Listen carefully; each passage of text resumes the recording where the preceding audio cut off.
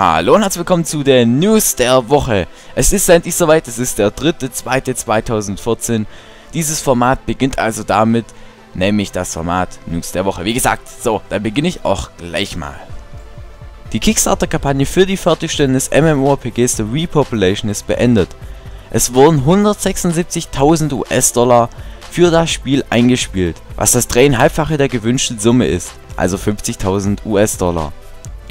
Es wurden dabei 10 Scratch Goals erreicht, das bedeutet, dass neue Spielinhalte den Einzug in das Spiel finden. Dabei soll auch eine PvP Gladiator Arena eben den Einzug in das Spiel finden. Das Spiel wird im November 2014 erscheinen und soll sich an die Klassiker Star Wars, Galaxis und Ultima Online orientieren. Im Science-Fiction-Shooter Destiny, der mit Online-Features Spieler anlockt, wird es definitiv keine Raumschlachten geben. Der Spieler hat zwar die Möglichkeit ein Schiff zu besitzen, jedoch kann er damit nur Zeugs horten oder eben zu Orten reisen, denn die Welt von Destiny ist riesig. Das Spiel wird im, am 9. September 2014 für die Xbox One, die Playstation 4, die Xbox 360 und die Playstation 3 erscheinen. Das vor einigen Tagen erschienene Fable Remake Fable Anniversary, das für die Xbox 360 erschienen ist, könnte es eine PC-Version geben. Wenn es genug Interesse von Spielern gibt, die eine PC-Version haben wollen oder eben genug Spieler gibt, die es für die Xbox 360 gekauft haben, dann wird das Entwicklerteam von Fable eine PC-Version releasen. Jedoch wird es für die Next-Gen-Konsole Xbox One keinen Ableger geben.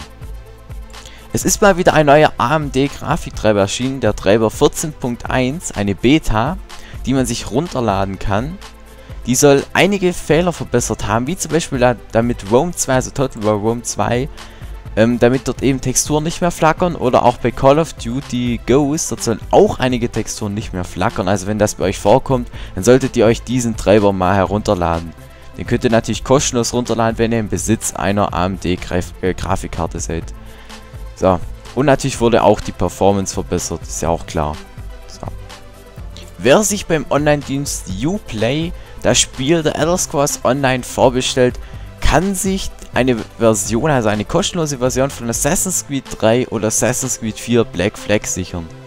Denn beim Kauf der Digital Standard Edition von The Elder Scrolls Online sichert man sich nicht nur 3 Tage Frühzugang und eben das Explorer Paket, sondern auch eine kostenlose Kopie von Assassin's Creed 3. Diese, dieses Paket kostet eben 54 Euro 99. Und es gibt noch eine zweite Möglichkeit. Ihr bestellt euch das Digital Imperial, äh, die Imperial Edition von der Elder Scrolls Online. Da bekommt ihr 5 Tage Frühzugang für das Spiel, das Explorer und Imperial Paket und natürlich eine kostenlose Version von Assassin's Creed 4 Black Flag. Diese Version kostet aber 79,99 Euro.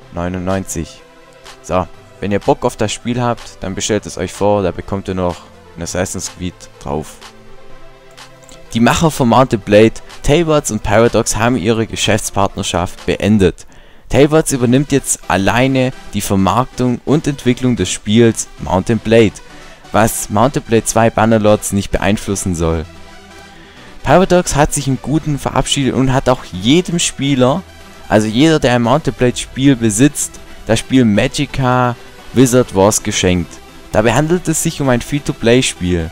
Naja, hört sich jetzt erstmal doof an, wenn man ein freies Spiel irgendjemand schenkt, aber man erhält dabei einen frühen Zugang zu der Beta. So, ich würde mal sagen, das ist schon mal etwas sehr Nettes bei dieser Trennung. Bei der USK-Kontrolle ist Tief ungeschoren davongekommen. Es wird nämlich in Deutschland ungeschnitten und ab 16 erhältlich sein. Es erscheint am 28. Februar für PC, PlayStation 3, Xbox 360 und die beiden Next-Gen-Konsolen Xbox One und PlayStation 4. So, das war's jetzt mit den News der Woche. Ich hoffe, es hat euch gefallen. Wenn ihr noch Fragen habt, bitte in die Comments schreiben, da kann ich die euch vielleicht, oder ich bin mir sogar sicher, dass ich sie beantworten kann. Und sonst würde ich sagen, damit ich eben nächsten Montag wieder um 19 Uhr ein Video News der Woche hochstellen werde. Also, habt eine schöne Woche. Tschüss.